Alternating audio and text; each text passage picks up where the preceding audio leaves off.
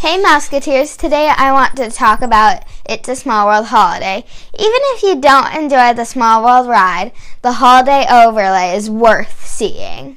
Small World is an interior boat ride that uses electric turbine and water jets to move throughout the ride. This is known as a propulsion method ride.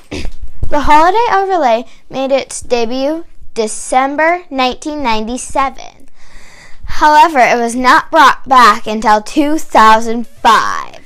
The Imagineers and the cast members closed the ride late October to bring holiday fun for holiday tourists. While you still travel the world, the songs have changed to Deck the Halls and Jingle Bells. Jingle bells, jingle bells.